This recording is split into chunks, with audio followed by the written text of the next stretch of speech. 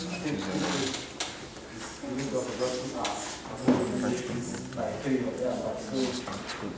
go straight to discussion so that we can finish on time. Because I know that when the discussion starts, we have a lot of questions to ask.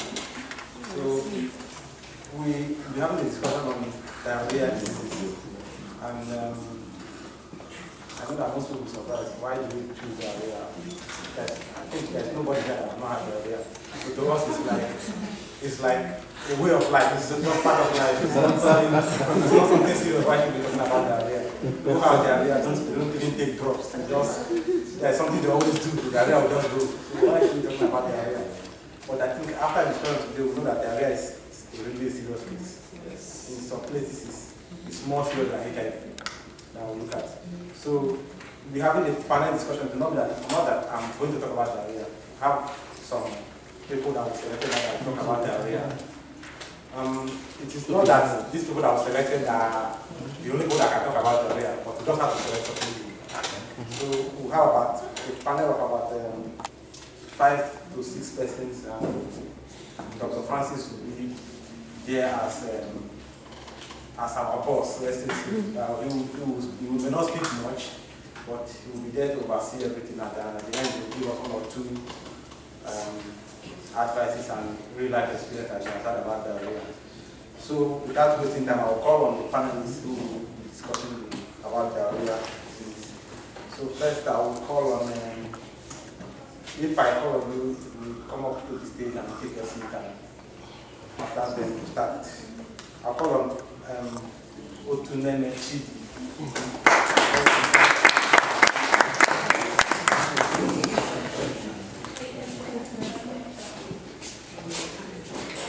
Um, I think on um,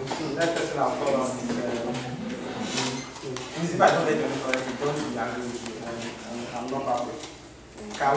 me. I'm.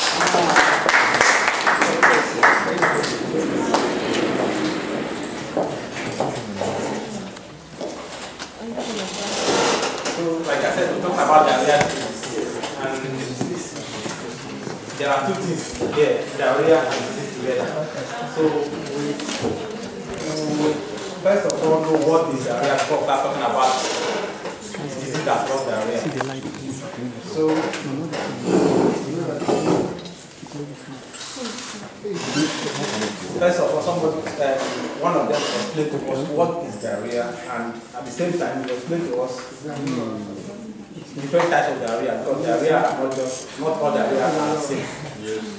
So, uh, tell us what is diarrhea, then from there we can get started, and after knowing what diarrhea, what types of diarrhea, then we can now know how to diagnose this diarrhea, and know how to get to the bottom of everything about diarrhea.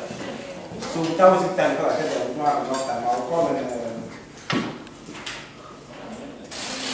I'll call on Stevie to tell us what is diarrhea, tell us the types of diarrhea, and after then we will, we will appreciate, we know what is diarrhea, then we will start from there. So,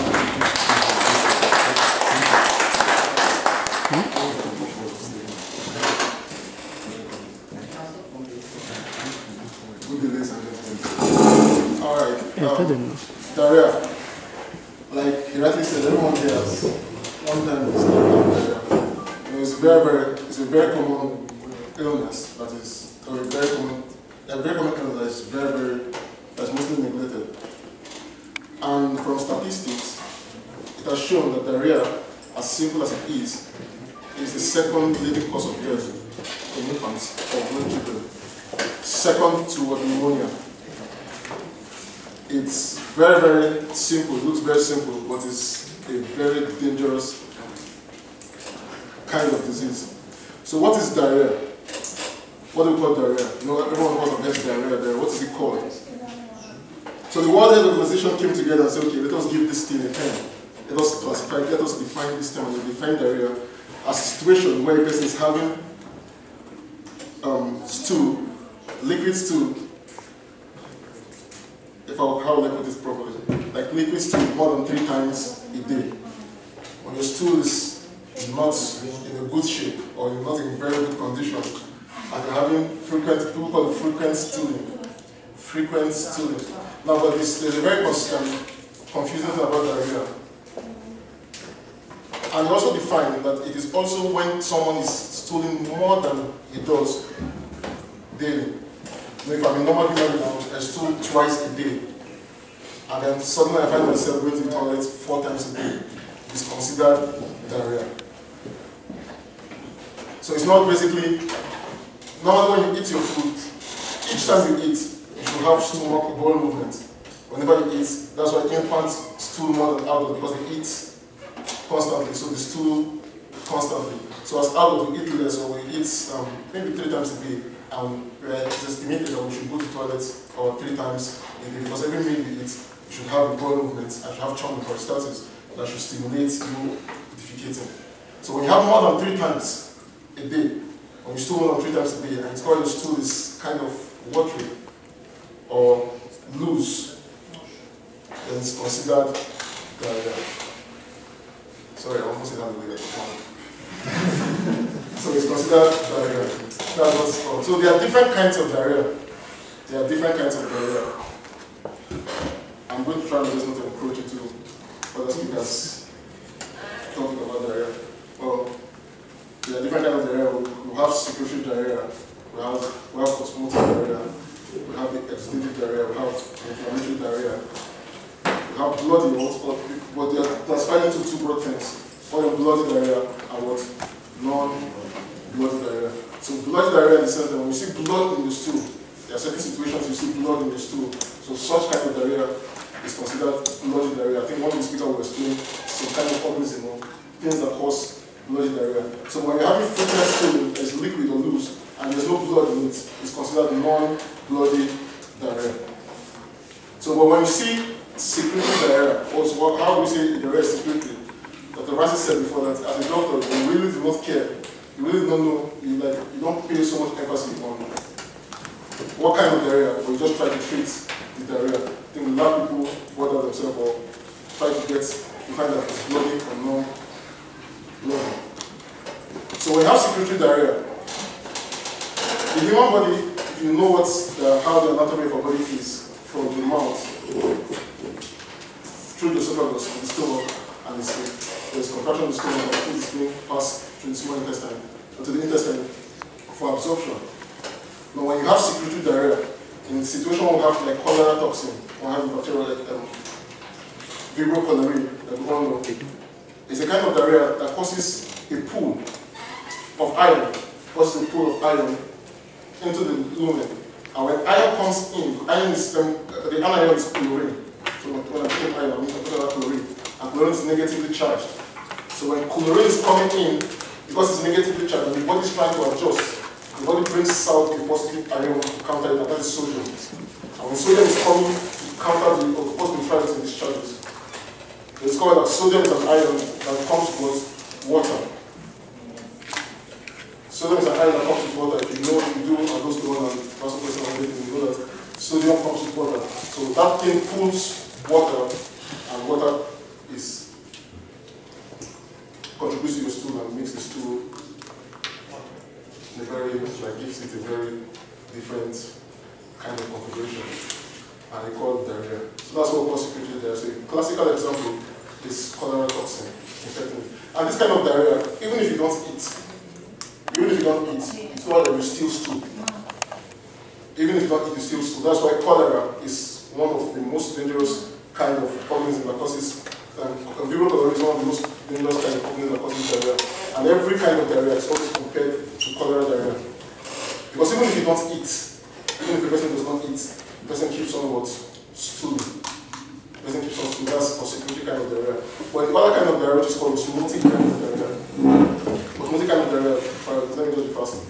In osmotic kind of diarrhea, you see it in situations where you have, normally we define osmosis as what? The movement of water from a region of what? High concentration to of. So it's like a pool of water also into the bowel. Now this is basically because of mild digestion, like my digestion is not going on properly in the stomach. For secretory diarrhea, we're talking about absorption of water. So we're talking about when the intestine or the ileum is having problem absorbing water. You know, normally when you're taking water, you're taking your food, after breakdown, the body does some kind of adjustment to maintain homeostasis, whereby important elements, important nutrients are being absorbed, including water. Including water, but 98% of water is what? Is taken back. So that's where we have secretory problem. When this kind of osmotic problem, you don't have a secretory, you don't have an absorption problem, you have a digestive problem. So you have maldigestion. So you see this kind of thing when you have lactose intolerance. You have a patient having lactose intolerance, you have somebody having fructose intolerance, or having a person having celiac disease, or let me know which I'm defining this kind of disease. But these are examples where you find osmotic diarrhea.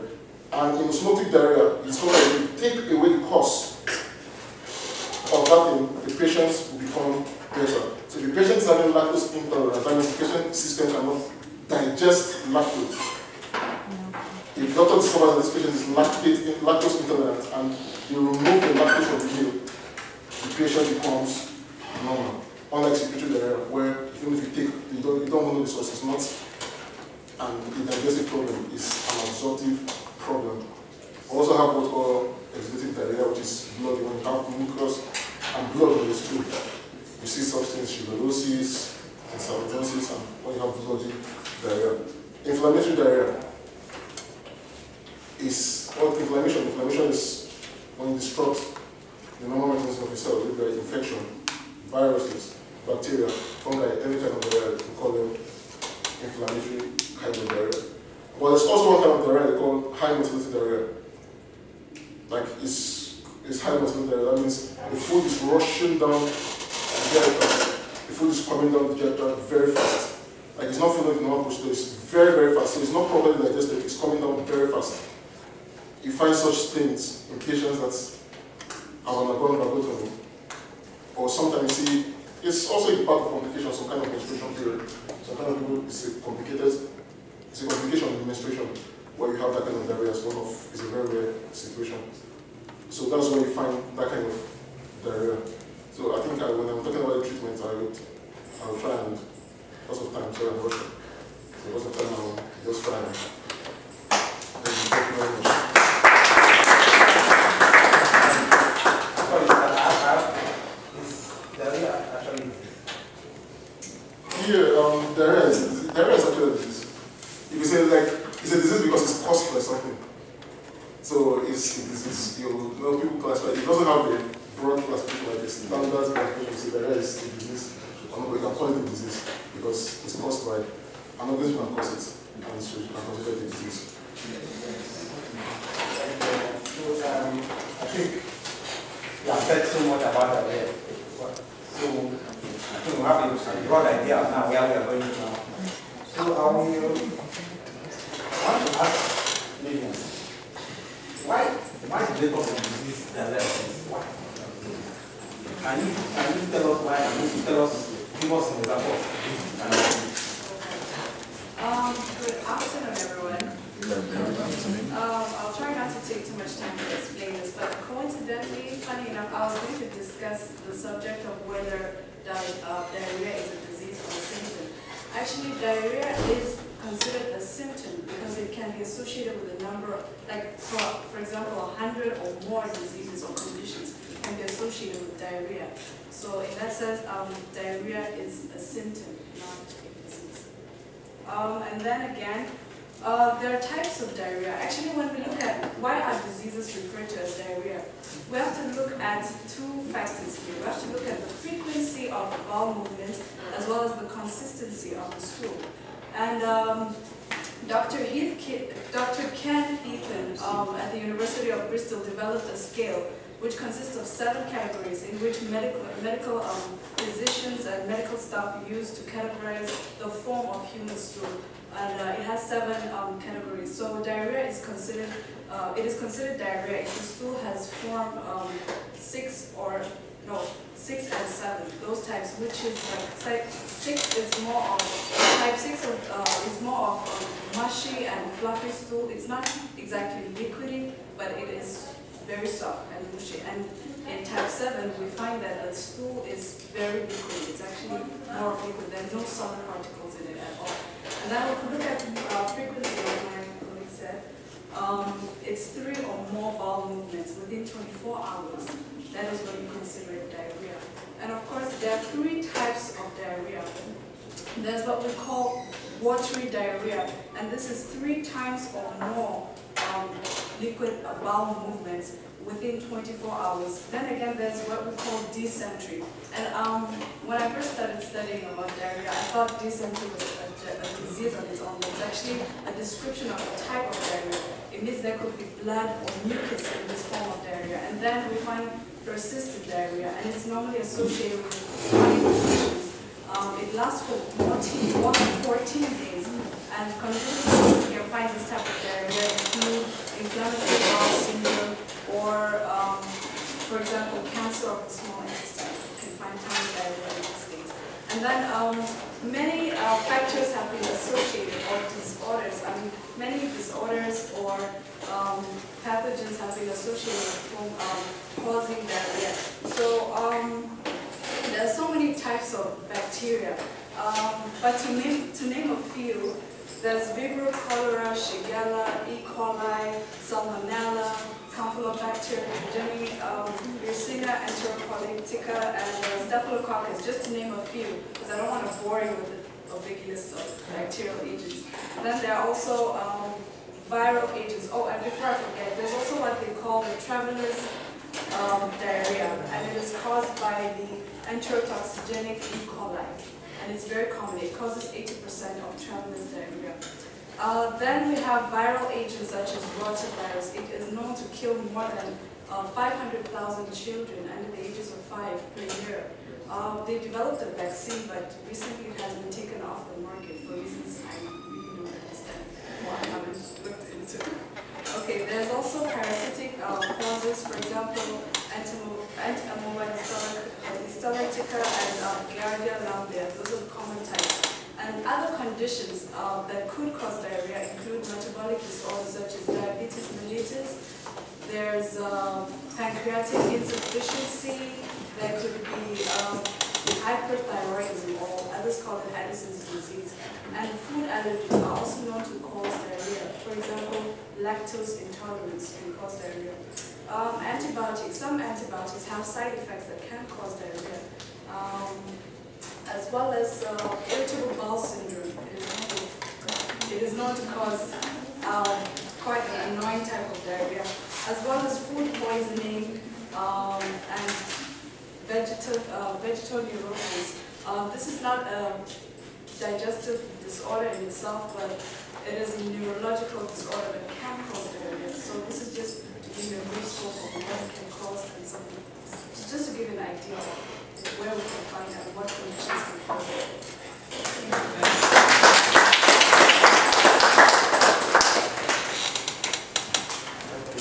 From what we um, the definition of diarrhea and the of diarrhea that she has us, and why some diseases are called diarrhea disease. But she said something interesting. She said diarrhea is a symptom and not a disease. So that means there are diseases that are causing diarrhea. So how they cause it diarrhea? how they call diarrhea. So I want kids to tell us the etiology and the pathogenesis, how this disease is caused diarrhea. So let's welcome Professor Gibb to tell us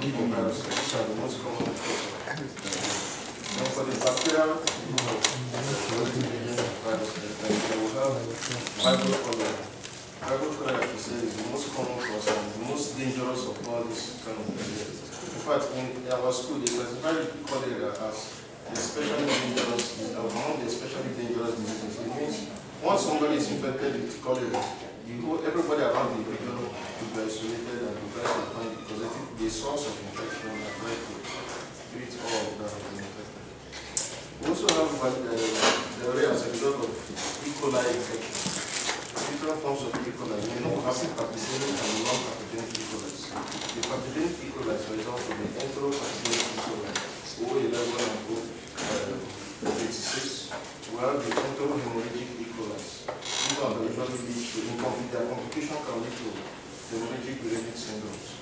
Then we have the enteropathogenic E. coli. These are the ones that usually cause the prevalence of diarrhea. Most common cause of prevalence diarrhea, entero enterogenic.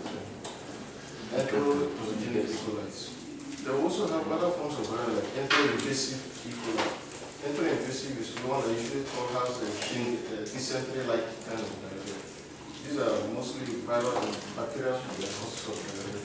We also have the salmonellosis, salmonella that causes salmonella typhi, salmonella paratyphi, and the other salmonellas that causes food poisoning, salmonella food poisoning. Okay, the difference is that the salmonella typhi usually affects the intestines and it's more severe. But the salmonellosis are usually um, zoonot- zoonotics, which means they're usually from animals. That when you eat or you eat food that has been contaminated with these bacteria, that can lead to diarrhea.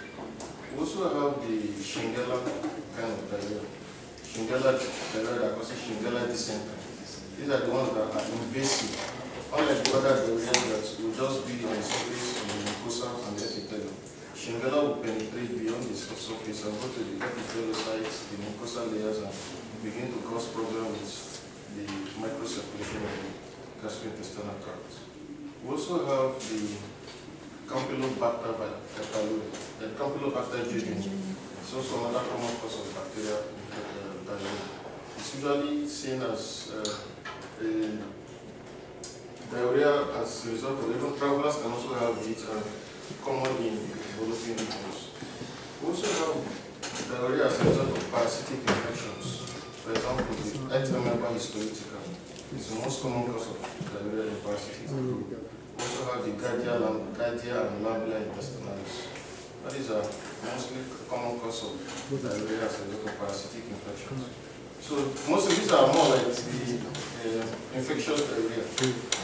There are cases where botulism associated as part of infectious diarrhea. Botulism, you have uh, you take food, sausages and canned foods that have been expelled. This food can contain botulism toxins and they can cause the gastrointestinal uh, problems and diarrhea. So botulism with infectious as cause of diarrhea in cases. So the only out if it was a botulism infection is uh, our disease condition. If the eating not I have to read that to the other classification of diarrhea disease is non-infectious diarrhea diseases. This is where we have diseases as a result of maldigestion, malabsorption, other problems with the pancreas, the exocrine portion of the pancreas, and intolerance, as I said, intolerance to lac- lactose intolerance, fructose intolerance, celiac diseases, gluten intolerance. All this can lead to non-infectious diarrhea. So in the non-infectious group, we now have like the malabsorption disease, maldigestion disease, and a lot of pancreatic diseases. Then we also have, apart from this, we also have the other one they call inflammatory bowel diseases. Inflammatory bowel diseases like ulcerative colitis and the Crohn's diseases. These are, as in, these are chronic diseases, but they can also have their symptoms as diarrhea-like symptoms. Okay, in patients. So ulcerative colitis, Crohn's disease are also seen as non-infectious kind of diarrhea. Okay, These are more like the etiologies. Then the pathogenesis of diarrhea, as we initially said, could be either secretory, osmotic, or inflammatory and invasive. For secretory, Because of time, can, can you just give us the the general etiology? What happens inside the when you're infected? The things that we don't see that happen inside and uh, at the end have your Right, so, General- so for the pathogenesis for secretory diarrhea, we have, the- what happens is, for example, Vibrio cholera infection or enterotoxigenic E. coli, these are the most common ones that causes the secretory. When, you- when you inject the toxins, the Vibrio cholera produces toxin called choleragens. Okay, then these cousins have a way of alternating the sodium potassium pump in, you know, sodium potassium pump in the cells of all the GIT. When the sodium potassium pump is alternated as a result of stimulation of the adenine cyclase enzymes, this now causes the production of sodium ions, and this sodium ion by osmosis will attract water to itself and cause increase in water motility from GIT. The is going to have this watery diarrhea. So for this the secretory diarrhea, you don't really, it's not a result, it's not invasive like it affects the mucosal lining. It doesn't affect the mucosal lining, it's just overproduction that leads to sodium potassium pump impairment. The fluid will not pass out and the patient has uh, Then for the osmotic diarrhea, as a result of osmosis, so when you have uh, too much of these uh, osmotic molecules or substances in GIT they try to attract water to themselves and they cause osmotic diarrhea. Like in case of malabsorption syndrome, maldigestion syndrome, and problem with pancreas, where the enzymes are not produced, so the digestion is not complete. So the, water is being carried with the osmotic molecules. Then for the inflammatory, the inflammatory diarrhea uh, mechanism is a result of irritation or rupturing of the mucosal lining. Remember the, the GIT intestine is mostly responsible for absorption. Now when the mucosal lining, the uh, microvilli that aids in the absorption is being uh, damaged, the absorption rate reduces and the water is now being excreted out in this form. So this is basically the etiology for inflammatory diarrheas. Thank you very much.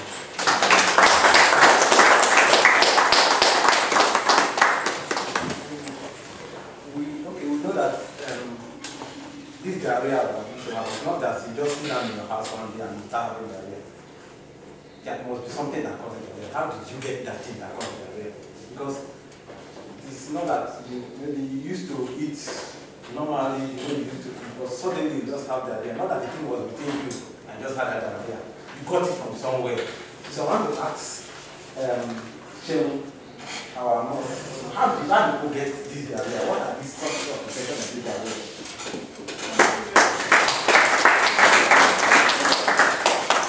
Good afternoon, everyone. Um, Actually, when you talk about the source of the infection diarrhea, the source is the carrier. I said the carrier because, like you've said previously, it could be through organisms, but basically person. So we say the source is a person, or we can call it the carrier. So when we talk about the mode of transmission, it is basically through fecal oral route.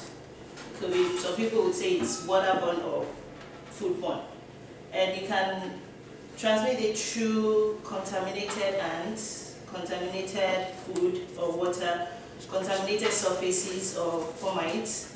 Like, for instance, if you go to the toilet and you don't properly wash your hand after that, you go to probably your kitchen, pick up something, put in your mouth, you can actually get it through that means. Or maybe you have some dirty stuffs that you didn't, your plates, your cups, you can get it through that means to when you use it to eat. So it's like, it could be from animal to person or it could be from person to person. You as a person, when you pick up something and someone else uses it and it's already contaminated, the other person has the tendency of getting the diarrhea, even though it's not like you had contact with the person like to get it. So people can get it through, through that means or for, okay, like they were talking of diarrhea in children, and there are still so many children. I would say the reason why that happened is because you know children like playing around, they touch surfaces, and then no proper hygiene, no proper washing of hands, and you see them, they put anything into their mouth. So through these means, they can easily get it. So we, have like different means of transmission outside you just eating something or through your plate or like it could be through your food, cooked food, you probably went out to eat something and it is not properly prepared or in a very good hygienic environment, you can actually have diarrhea. So I would say the major, the primary mode of transmission of diarrhea is through fecal oral route. And like they said before, you can also get diarrhea through use of some medication, but I guess someone else will shed more light on that later. Thank you.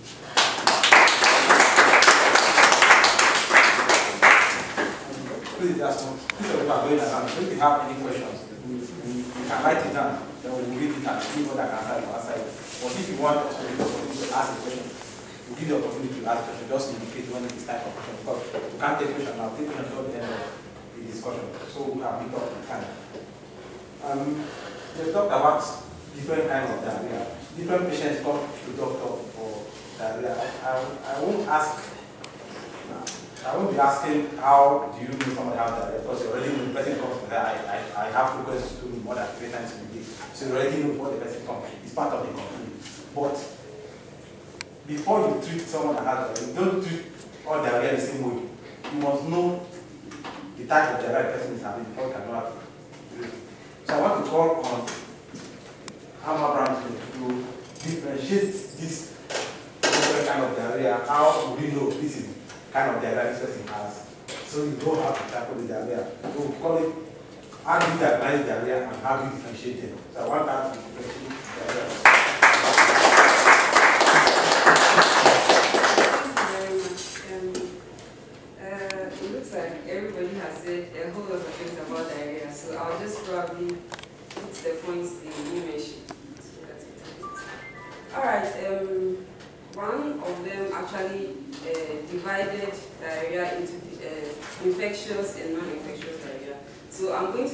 Differential diagnosis according to this, this these two categories. So you have infectious diarrhea, you have non-infectious diarrhea. For non-infectious diarrhea, I chose to um, divide them into two, functional and then diarrhea caused by genetic diseases. So uh, the first one, uh, we have the infectious, and the infectious can be caused by bacteria or virus. So I chose three bacterial agents or three bacterial forms of diarrhea, and then one viral form of diarrhea. So the three I chose are um, cholera, salmonellosis, shigellosis, and then for the viral, I chose um, uh, rotaviral. And um, okay, so the etiology, if a person comes with diarrhea, you, uh, there are a lot of things you can know if this is Vibrio cholera, this is shigellosis, this is salmonellosis, or this is vir from viral origin. So, like they said earlier, for cholera, the etiology is vibrio cholera, and then for shigellosis, it's uh, shigella. For the uh, rotavirus, rota, uh, the diarrhea caused by rotavirus, it is rotavirus infection. And then for salmonella, we have different species of salmonella that can cause diarrhea. But I want to stress that uh, more especially Salmonella typhi, in the group of Salmonella, doesn't necessarily cause diarrhea. It causes more of constipation than diarrhea. So the Salmonellosis we are talking about right now is the other um, species of Salmonella, especially uh, Salmonella enteritidis. It has been known to cause more of the Salmonellosis than all the other agents. And then for the mode of transmission, we know that all these agents, including the viral uh, diarrhea, are fecal oral, like she said. And then um, in all these cases, in the anamnesis, we are taking the history of disease or the history of life. We realize that uh, in all these cases, the, the patient would have had uh, contact with somebody who has had uh, the disease before or somebody who already has the disease. And uh, we know that all these agents, when they enter the body, they have an incubation period. So depending on the incubation period of the agent, the diarrhea manifests itself. So if the patient comes to you and tells you that, for example, the Vibrio cholera, the incubation period is some few hours, averagely 48 hours. So the patient comes to you and tells you that um, about two days ago, uh, there was somebody in the house having diarrhea and blah, blah, blah. And then at that point, the patient has diarrhea. You can actually consider it as, as, as one of the criteria for this kind of diagnosis. And it should also be noted that salmonellosis, cholera, shigella, and most of the diarrhea disease all have acute onset in anamnesis. So, uh, especially the infectious ones, not the chronic ones, the infectious ones, most of them have acute onset. And then if you come to examination, if you are examining the patient, you will see that the patient has, because of the diarrhea, and then some of them, okay, sorry, let me mention this, that in the complaints, for all these diseases, not only diarrhea the patients will have. For cholera, the patients will have uh, vomiting alongside the diarrhea. And the vomiting is usually fountain-like. It's usually fountain-like. And then there's two in cholera, is they call it rice water, rice water stew because it is white with some whitish substances. They call the scientists say it's a pus, pus, the whitish substance, they call it pus. So it is in the form of rice, rice water. So there's two, that is typical for cholera. And then for salmonellosis, there's two is like um, green pea soup. It's a dark green stew with stuff like green peas. So if you see that kind of stew, you know that it's specific for salmonellosis. And then for Shigella, it is, um, they call it rect rectal spit. It is a very, the, the, the, the, the stool is like spit, very small, with a, a large amount of mucus, and then blood. And then uh, the viral infection, the stool is watery and is yellow. Sometimes they say it, it actually looks like uh, the stool in cholera.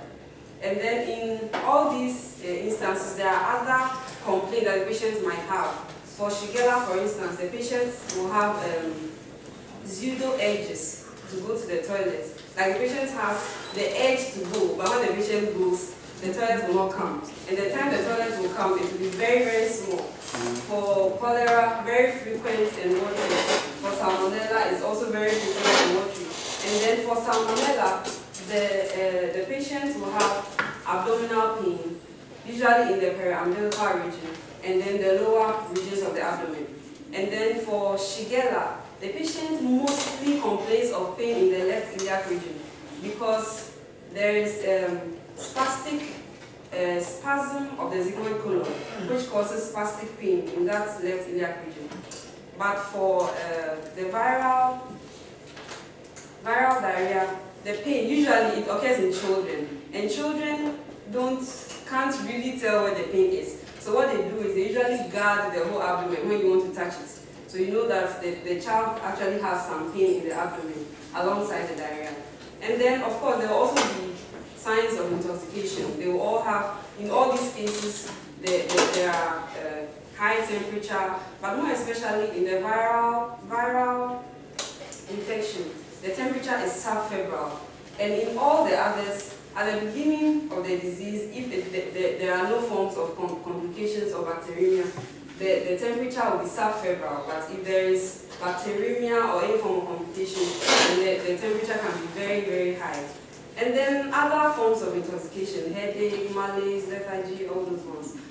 And uh, if we come to the complaint, uh, the anamnesis, uh, sorry, the examination, in all these cases, they will have signs of dehydration. So you see that the, depending on the stage of severity, you can tell the stage of the dehydration. But you can see signs like um, sunken eyes, the patient feels very weak, skin texture is reduced, the urine of the patient is usually very concentrated and dark. And then you see that because of the dehydration also there might be signs that are associated with cardiovascular system, like um, elevated heart rate, pulse, and stuff like that. And then for um, the laboratory and instrumental diagnosis, in all the bacterial cases, the complete blood count might be the same. You might have um, normal red blood cell counts, but in the case of Shigella, because there is bloody diarrhea, you might have anemia in that case. And uh, in actually in all of them, you have leukocytosis with especially neutrophilia, with high levels of neutrophils. But in um, in the viral diarrhea, you have you might have normal erythrocyte counts, but with um, leukocytosis, but with lymphocytosis, not in the neutrophils. So that's what you can use to differentiate between viral and the bacterial infections. And then um, for the biochemical analysis, you will see that in all these cases, electrolytes will be decreased because the patients are vomiting and then they are passing out watery stools. So electrolytes will also decrease. And then um, in the viral infection, it is not only, you know, viruses have different ways of doing their stuff. So they don't only attack the intestinal system, even though it's an, it's an um, it's causing diarrhea, but they cause other symptoms, other catarrhal signs, like the patients will have uh, cold, the patient will have running nose and stuff. And sometimes in the viral, uh, in the case of uh, the rotavirus, it can affect the liver. Most of these viruses end up affecting the liver anyway. So in the biochemical analysis for the viruses, you might you might see elevated cardiac and uh, liver enzymes, ALT, AST, in that case. And then in rare cases, in rare cases, you find elevated bilirubin eh, because um, if, if the virus is very active and causing damage everywhere, including the liver, if it actually gets access into the blood and then enters the liver, then there will be other other signs, jaundice and other signs of, of and then um, uh, the, the bacteriological examination of the stool will also show, for example, in cholera, will show the etiologic, etiologic. So in cholera, you reveal Vibrio cholera. In salmonella, you see salmonella enteritidis or any other form of salmonella. In Shigella, you see the Shigella. And then in, in the viral uh, agent, they use viro virology uh, examinations to detect the virus. And sometimes they use serological methods also, like um, uh, neutralization reaction, complement binding reactions, and hemagglutination reactions to find antibodies to all these etiologic agents in the body. So if you use these methods, you find antibodies to Shigella, antibodies to salmonella, salmonella, antibodies to cholera, and then antibodies to um, the rotavirus. So, uh, and then for the functional diarrhea, you have um, diarrhea, is more or less like an unexplained diarrhea, because the patient has diarrhea, the patient doesn't know what happened.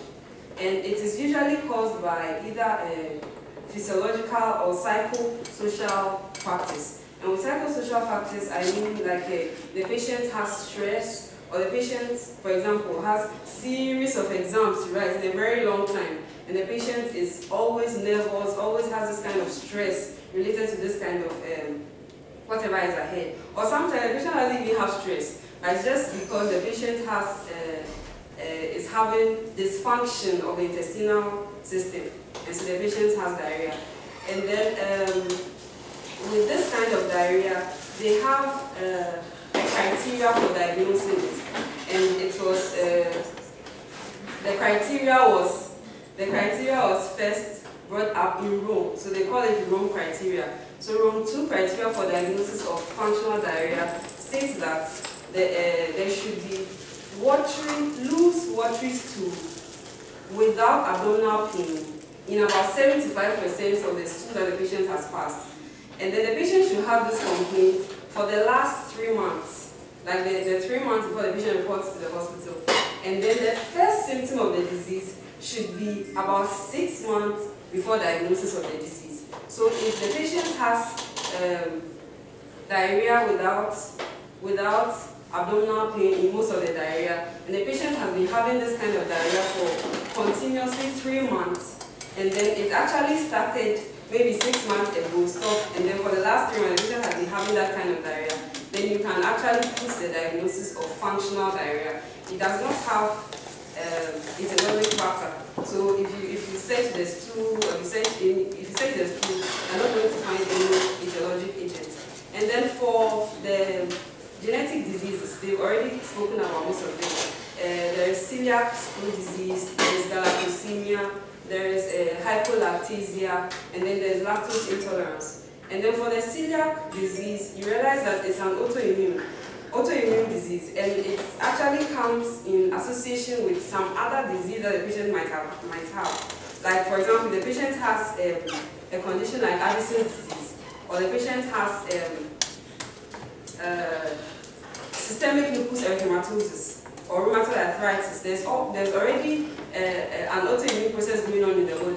So as soon as the patient eats that, the, the meal with gluten, or the meal, wheat, oats, those meals, then the patient will have this kind of um, diarrhea. And then for diagnosis of this kind of uh, disease, we usually do endoscopy with biopsy. So if you do the biopsy and you see that the uh, villi of the intestine has been flattened, then you see you, you can think of celiac disease. And then for the other ones I talked about, most of all of them actually have to do with uh, lactose or milk. So if the person cannot tolerate milk, then the person has lactose intolerance. And then if the person has um, deficiency of the enzyme galactose-1 uridyl transferase, phosphate uridyl transferase, then it means that the patient will actually have accumulation of galactose in the body. And it is not only the diarrhea that thing is going to cause, it will cause several other diseases. So if you do a genetic analysis of this kind of thing, and then in the anamnesis, you also note that somebody in the family probably has that disease. So you can be able to tell anything.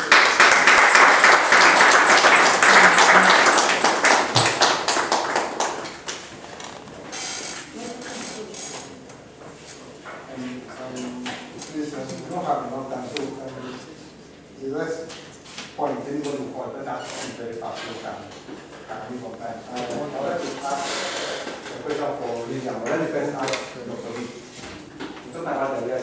so die at the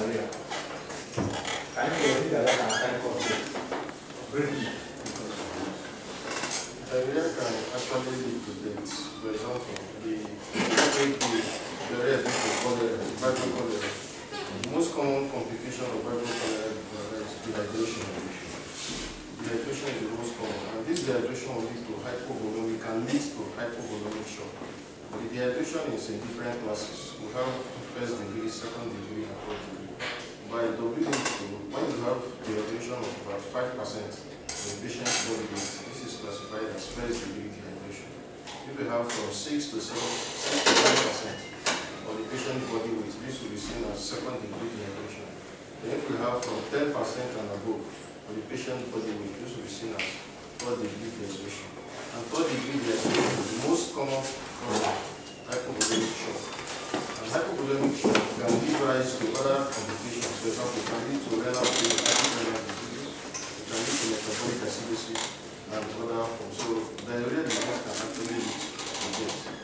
to uh.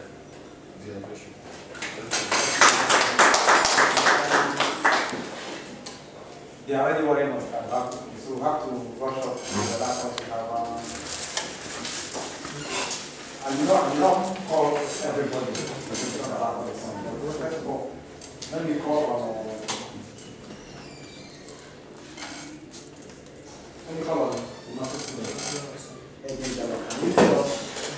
how you can that and how, what, what you do in case there is no doctor to take care of the patient?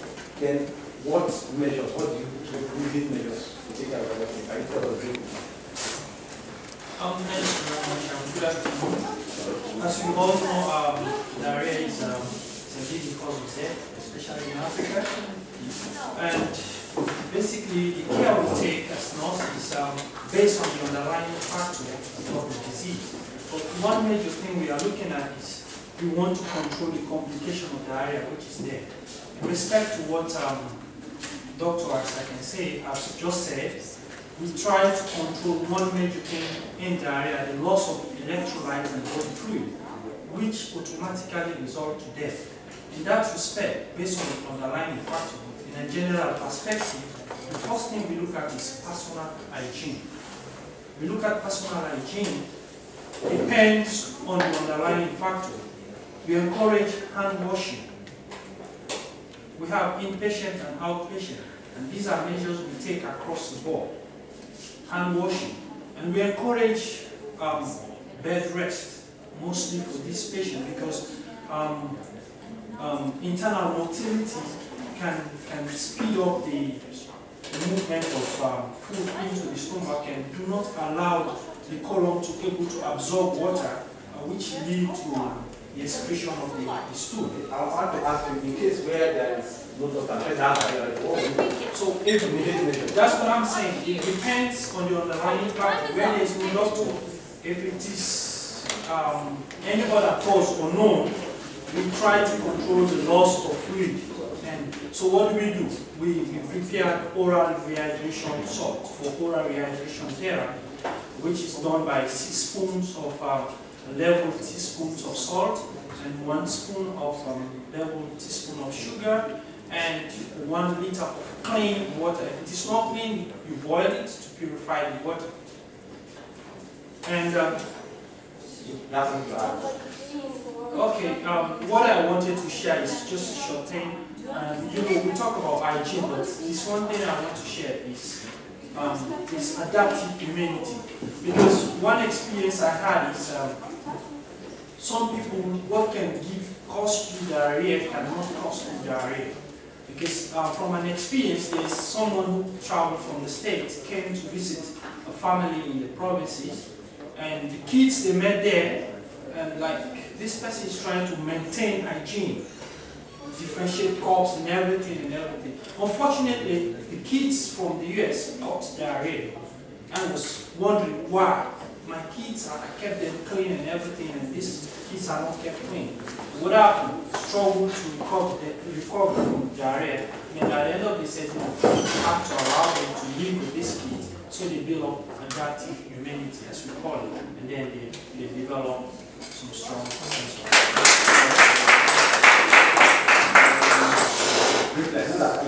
um, Chidi had a lot to talk about the treatment, but I want you to summarize the drugs. Treatment for just summary, just one after.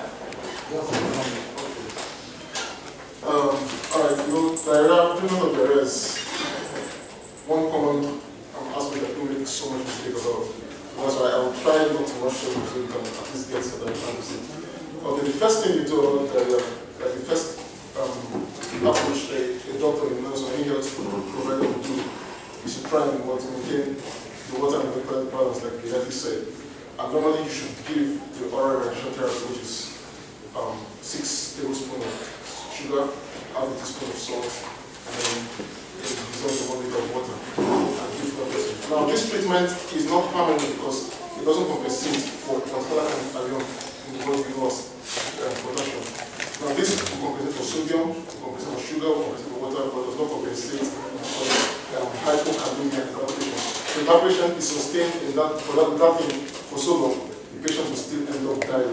Person, the patient will not be dehydrated, patient will not be lacking glucose, the patient will not be lacking sodium, but the patient will be lacking potassium. Or the patient lacks potassium in the system because arrhythmia in the patient, the patient dies. So that oral rehydration therapy is not a permanent treatment, except it is standardized from the World Health Organization, which is the sachet kind that has the potassium chloride in it. But in our homes, in our anywhere we are, we can more quickly do that oral rehydration therapy and sustain that patient for some time. In case you don't have that, you can use other things. There are other things that can maintain that balance.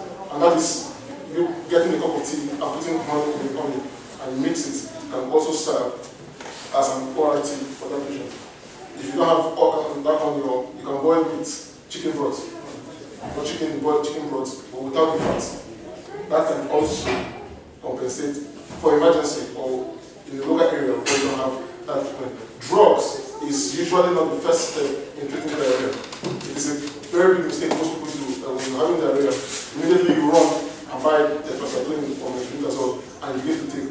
You need to understand the causative organism or the, the factor, the causative factor of that diarrhea before you take drug. Because even when you start taking antibiotics, it might even complicate the patient's case. What if it's a viral, like you said, it's a retroviral, rotaviral infection? Your antibiotics will be ineffective, and the antibiotics will end up causing diarrhea because of what we call dysbacteriosis. When that thing kills the normal flora in the intestine, it will give another kind of bacteria, which is called Clostridium difficile, which causes diarrhea. So example of such drugs that we should be careful about is antibiotics. So it's not really the first step you should do. You must have done some um, examination before you confirm if it's a bacterial infection or a viral infection, or if you actually need drug, which is functional diarrhea, or is an um, infectious or non-infectious kind of diarrhea. So there are many other um, kind of medicine you should use. So don't rush to drugs. Don't just buy tetracycline. But in case you have that kind of diarrhea, now there are different kind of medicines to treat diarrhea. She said before that the diarrhea would be hypermotility from the stomach, from the GI sorry. And if you have hypermotility, and doctor realizes that this is because of hypermotility. There's a classical drug that most people use that it works for almost for most type of diarrhea. The trade name is called Imodium. You know it's called Loperamide. It's actually not an antibiotic, but it's not an antibiotic, but it works. It's, um, belongs to the opiate family. It works very, very well on the GI tract to limit um, motility. There's peptose bismuth, what you call bismuth compound. Bismuth compound also helps to decrease the amount of frequency, or the amount of time the patient runs to the toilet for defecation. So these are classical kind of drugs. Now, the effect of these drugs, if you know pharmacology very well, you know what comes muscarinic receptor. Okay. All right. If you are trying to block, um, if you are trying to inhibit the parasympathetic system, that causes secretion, that causes stimulation of the GI tract, every other kind of secretion in the body. So you give this um, um, muscarinic blockers. Now, some drugs are not.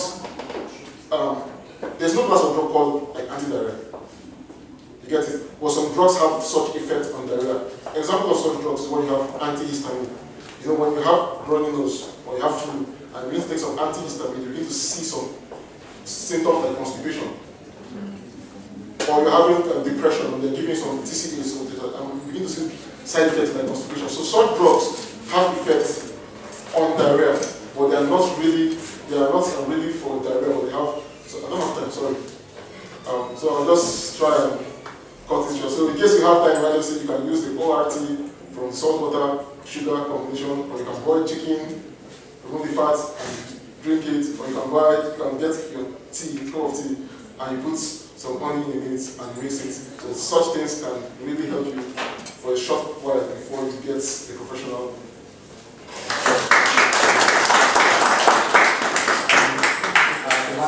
Uh, up, so um, there are other points we have to discuss now. I, I won't call for those companies, so I'll call on Dr. Francis to summarize everything we've talked about diarrhea briefly and tell us his experience, really, really life experience about diarrhea and one or two advices he has for us.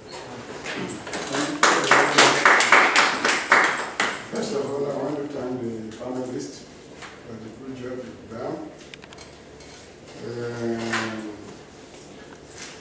The diarrhea, as we have heard it from our specialists, it's a very common illness, but also dangerous. Very dangerous in the sense that it kills. But for adults, it is not a big problem because I can say almost even today, today you might see one or, one or two diarrhea, but they don't take it as serious as anything because they know what is true. But for children, it is very, very dangerous. Why is it so? It is so because especially infants below two years, 75% of the body weight of children is made up of water. And so when children use water, they almost collapse within a short period. And that is why for them, it is very, very dangerous and it kills a lot. Now we've had diarrhea. What is diarrhea? We said having frequent loose. Frequent water you loose stools. That is simplest thing. But if you want to be exact, you see, having three or more frequent loose stools. That is diarrhea. Now, what we talk of the types of diarrhea. So we had different different types motive, secretory, and all that. In the clinic, when you go to clinical practice, this is not very important. When you think of acute diarrhea, chronic diarrhea, is this very acute or is it chronic? These are the main things to do. Why do you say acute? Acute when it is between one day one week, ten days. It's acute. Now, chronic is three weeks and above. In between these, two, you have one, we call it uh. That is when it's not two weeks, you call it persistent. Then apart from that, apart from that, you also think of mild, moderate, and severe. And this one is based on degree of dehydration. Because this is what kills. So because of that, you classify it as mild, moderate, and severe. Now, you do this because the mode of treatment, the way of treatment is different. When it is mild to moderate, it is far. Oral rehydration therapy. Like I said, they have prepared ones in sachets that they can use to, to, to mix with one liter of water and drink as much as possible. Or you can just do the local local uh, mixture of one level teaspoon of salt plus uh, six level teaspoon of uh, sugar and mix it with uh, one liter of, uh, of uh, clean water. And you drink it as much as possible and it does the work. Or even if where these ones are not, if you are not able to do that, and if you are in relatives where there's coconut, just unripe coconut water does the magic. So these are very important. Then when it comes to severe, in severe case, it means you have an acute infusion because at that time the patient is already collapsed and he cannot even take, take uh, other, other, other things. The person is lethargic, is almost unconscious, is in shock, so you need to use uh, oral infusion. Ringer's lactate, uh, 9% sodium chloride. These are things that are commonly used. Then when you talk of, there's also these causative agents that you have to be very, very serious. We have mentioned it cholera. We have different, different types, virus, um, uh, bacteria, and uh, protozoa, parasitic. Under parasitic, you have protozoans and then uh, helminths too, worms. But one of the most dangerous is the cholera, the vibrio cholera. It's very, very important because it kills. It has endemic areas, endemic in it is in some areas, particular areas, it's always experienced. Then you have pandemic. You have pandemic, pandemics that spread between countries.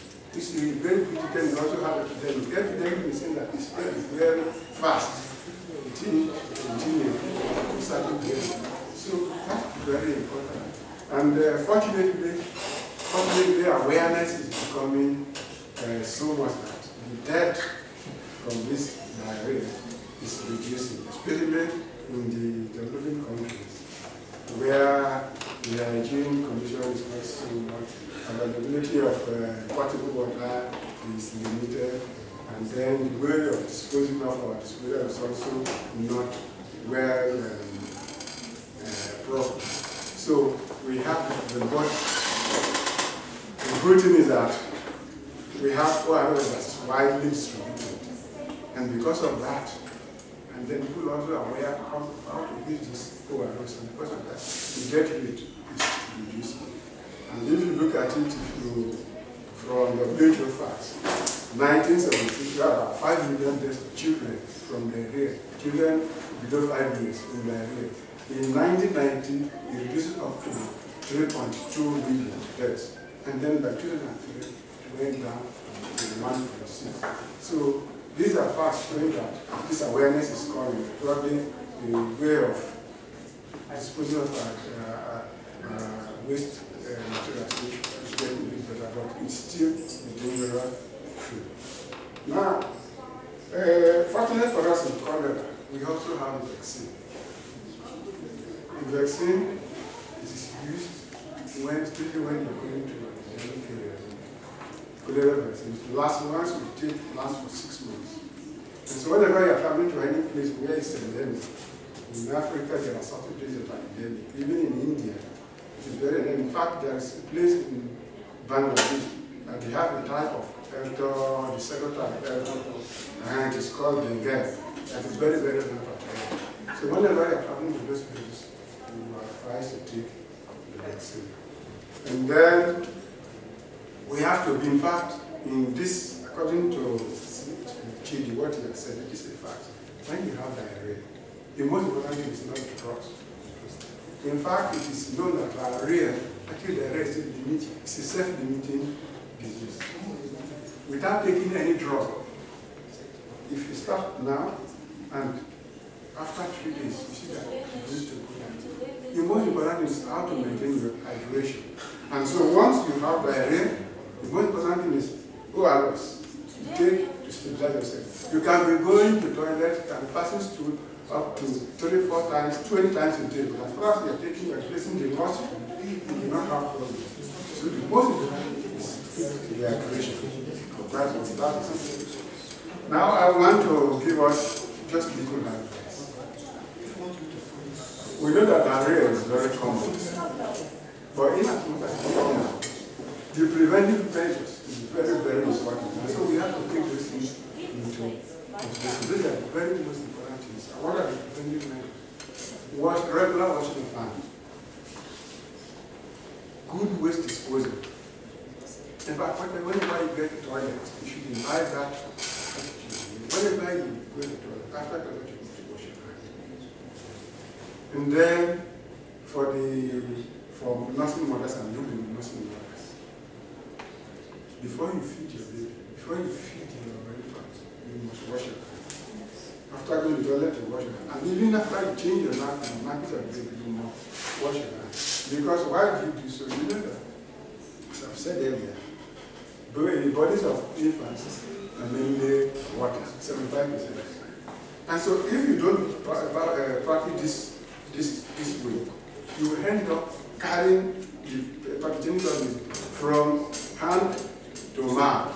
And so the, the, the whole circle will continue to, to revolve. And the real continue to there. And you know what happens? Malnutrition occurs. Because when, we, when you were passing through, there's no time for the body to absorb all the nutrients. Marasmus and kwashiorkor, all these things will so that's very, very important. And then for the for everybody, I would like to say that even though we know that diarrhea is common, let us know that it kills. And whatever thing we are doing, we must be sure proper. And if we do so, I think we will Okay, now, I, I, I would like to thank every- everybody and even the participants for their time to brought out to come and discuss with us. We don't have enough time, we have taken questions, but uh, I want to apologize that this, they are already running us to this, this, this, so we'll end the discussion without taking questions. If you have a special you can get across to us and answer. So, once more, let us start. Uh, please, thank you very much for your time. And you know, I think there's something good we need to be doing to encourage ourselves to learn. But it was something that we should have requested for more time than before. But please, I think our next month meeting, we should also try and come a bit early.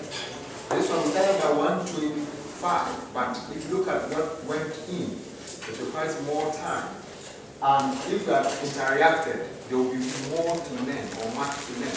We were thinking that an option would be we could go and continue in the common room, like with questions and interactions, as we take our refreshments, you know. Because for now, we have some little thing we have to break, you know, we have some bread we have to break together. So maybe we move to the ninth floor. As we take in that one, then we can also be asking questions. Would that be okay? No, would that be okay? So that someone will not carry the question. Would that, is, it, is that okay? It's okay. Do you agree with that? So that we can go there, as you take your uh, meat pie and that thing, you can be asking questions. Thank you very much. Now, we would like to pray, and after that,